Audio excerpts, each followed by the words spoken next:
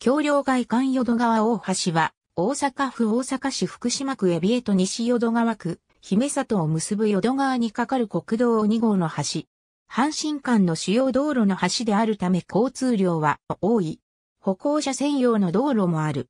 何話の那覇市50線に選定されている。淀川立港が左右岸にある。この橋の下に JR 東西線が通っている。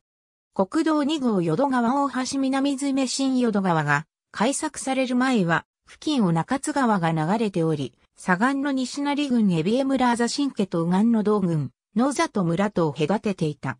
江戸時代から大阪と尼崎と最短距離で結んだ梅田街道が通っており、野里の私があった。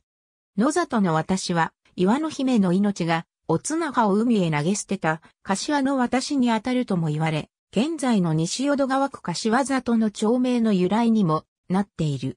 1876年に柏屋橋が架橋された。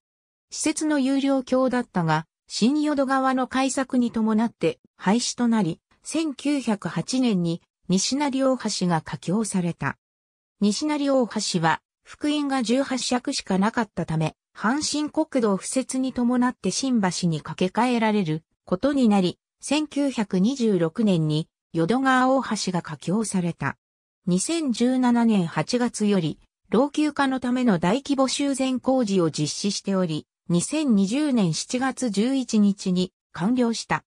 2018年9月、平成30年台風第21号が関西地方に上陸した際は、防潮鉄皮の閉鎖が実施された。